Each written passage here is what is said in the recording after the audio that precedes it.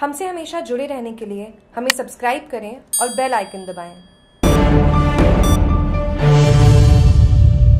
Cycle चलानी नहीं आती, उसे स्कॉर्पियो का ड्राइवर बताकर डोड़ा तस्करी में जेल भेजने को लेकर देवासियों ने की मुलाकात राज्यसभा सांसद नीरज रांगी का सुमेरपुर दौरे पर किया भव्य स्वागत दो गुटों में बटी दिखी कांग्रेस। एक गुट ने किया लछोबा गार्डन में स्वागत तो दूसरे गुट ने किया नीलकंठ महादेव मंदिर में स्वागत। राज्यसभा सांसद के सुमेरपुर विधानसभा दौरे को लेकर एआईसीसी मेंबर रंजू रामावत के नेतृत्व में शहर के पोमावा पुलिया पर स्थित लछोबा गार्डन में जनप्रतिनिधियों की मौजूदगी में भव्य स्वागत किया गया, जहाँ पर पंचायत समिति के सरपंच, वार्ड पंच सहित नगर पालिका क्षेत्र के वार्ड पार्षद व विभिन्न कांग्रेस कार्यकर्ताओं ने माला व साफा पहनाकर स्वागत किया गया।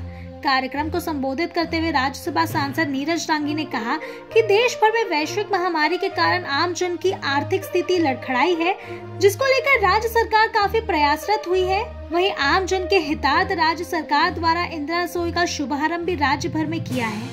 वहीं कार्यक्रम में उपखंड के पांचली गाँव के देवासी समाज के युवक को पुलिस द्वारा डोडा पोस्ट तस्करी मामले में जिसे साइकिल चलानी नहीं आती, उसे स्कॉर्पियो का ड्राइवर बताते हुए जेल में डाल दिया। जिसको लेकर देवासी समाज ने भी न्याय दिलाने की पुरजोर मांग की, वहीं सुमेरपुर विधानसभा क्षेत्र में कांग्रेस दो गुटों में बटी दिखी। जहाँ पर एक गुट लछोबा गार्डन में स्वागत किया तो दूसरे गुट ने शहर के समीप नीलकंठ महादेव मंदिर में पूर्व कांग्रेस बोर्ड के उपाध्यक्ष शिशुपाल सिंह निम्बाड़ा के नेतृत्व में स्वागत किया गया। देखिए जिस प्रकार से देश के हालात बने हुए हैं, हर मोर्चे पर भारतीय जनता पार्टी की सरकार ने जो निर्णय लिए, उन तमाम निर्णयों के बाद में देश के हालात बहुत आर्थिक रूप से बहुत कमज़ोर हुए हैं।